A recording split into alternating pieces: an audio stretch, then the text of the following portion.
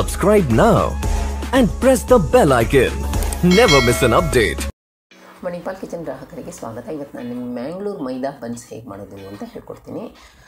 ಅದಕ್ಕೆ ನೀವು ಇವಾಗ ಇದು ಕಾಲು ಕಪ್ಪು ಯೋಗರ್ಟ್ ಅಂದರೆ ಮೊಸರನ್ನು ಒಂದು ಬೌಲ್ಗೆ ಹಾಕ್ಕೊಳ್ಳಿ ಮಿಕ್ಸಿ ಬೌಲ್ಗೆ ಸಕ್ಕರೆ ಎರಡು ಟೇಬಲ್ ಸ್ಪೂನ್ ಹಾಕ್ಕೊಳ್ಳಿ ಮತ್ತು ಅದಕ್ಕೆ ಒಂದು ಪಿಂಚ್ ಕುಕ್ಕಿಂಗ್ ಸೋಡಾ ಅಡುಗೆ ಸೋಡಾ ಇರುತ್ತಲ್ಲ, ಅದನ್ನು ಹಾಕ್ಕೊಳ್ಳಿ ಒಂದು ಪಿಂಚ್ ಅಷ್ಟೇ ಜಾಸ್ತಿ ಇಲ್ಲ.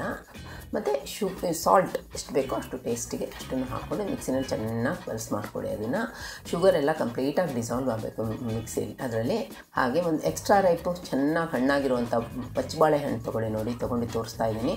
ಅದನ್ನು ಪೀಲ್ ಮಾಡಿಬಿಟ್ಟು ಒಂದು ಬೌಲಿಗೆ ಹಾಕಿ, ಮತ್ತು ಫೋರ್ಕ್ ಇರುತ್ತಲ್ಲ, ಅದರಿಂದ ಚೆನ್ನಾಗಿ ಅದನ್ನು ಸ್ಮ್ಯಾಶ್ ಮಾಡ್ಕೊಳ್ಳಿ ಮ್ಯಾಶ್ ಮಾಡ್ಕೊಳ್ಳಿ, ಚೆನ್ನಾಗಿ ಮ್ಯಾಶ್ ಮಾಡ್ಕೊಳ್ಳಿ, ಪೂರ್ತಿ ಚೆನ್ನಾಗಿ ಅದರಿಂದನೇ ಸ್ಮ್ಯಾಶ್ ಆಗಬೇಕು ಅದನ್ನು ಮಿಕ್ಸಿಲಿ ಹಾಕಬಾರ್ದು, ಯಾಕಂದರೆ ಅದು ಚೆನ್ನಾಗಾಗಲ್ಲ ಮಿಕ್ಸಿಲಿ ಹಾಕಿದರೆ. ಇವಾಗ ನಾವು ಅದು ಕರ್ಡ್ಸಿ ಮಿಕ್ಸ್ ಮಾಡ್ಕೊಂಡಿದ್ದೀವಲ್ಲ ಶುಗರು ಸೋಡಾ ಹಾಕ್ಬಿಟ್ಟು ಆ ಮಿಕ್ಸ್ನ ಆ ಬೌಲಿಗೆ ಹಾಕ್ಕೊಳ್ಳಿ.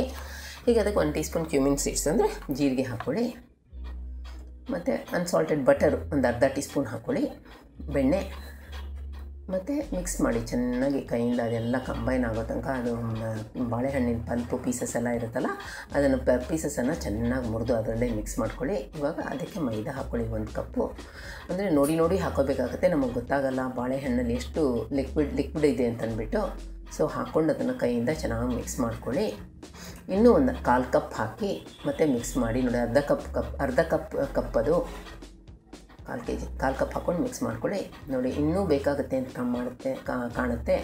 ಇನ್ನೂ ಒಂದು ಎರಡು ಟೇಬಲ್ ಸ್ಪೂನ್ ಹಾಕ್ಕೊಳ್ಳಿ ಅದರಿಂದ. ಮತ್ತು ಮತ್ತು ಕಲಸಿ ಕೈಯಿಂದ ಹೇಗಾಗುತ್ತೆ ನೋಡಿ ಸುಮ್ಮನೆ ಪಿಚಿ ಪಿಚಿ ಇರಬಾರ್ದು ಹಿಟ್ಟು. ಹಿಟ್ಟು ಕರೆಕ್ಟಾಗಿ ಸಾಫ್ಟಾಗಿ ಬರಬೇಕು. ಅಷ್ಟರ ತನಕ ನಾವು ಹಾಕೋಬೇಕಾಗತ್ತೆ.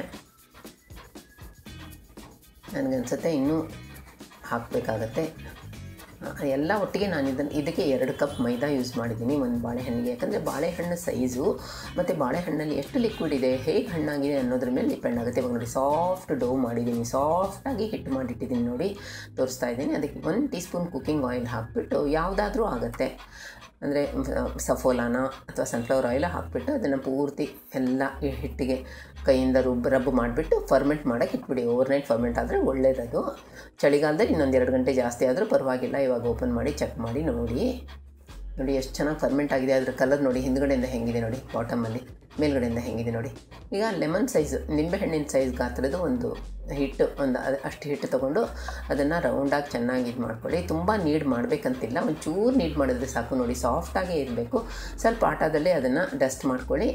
ಮತ್ತು ಸ್ವಲ್ಪ ಥಿಕ್ಕು ಅಂದರೆ ತುಂಬ ಥಿನ್ ಮಾಡಬಾರ್ದು, ಆಗ ಇದು ಬನ್ಸ್ ಉಬ್ಬಲ್ಲ. ಅದನ್ನು ನಾಲ್ಕು ಇಂಚ್ ಡಿಸ್ಕ್ ಮಾಡಿಕೊಂಡ್ರೆ ಸಾಕು. ಇವಾಗ ಎಣ್ಣೆ ಆಲ್ರೆಡಿ ಬಿಸಿ ಮಾಡಿದ್ದೀನಿ. ಮೀಡಿಯಮ್ ಫ್ಲೇಮಲ್ಲೇ ಅದನ್ನ ಸ್ಲೈಡ್ ಮಾಡಿ ಆಯಿಲ್ನಲ್ಲಿ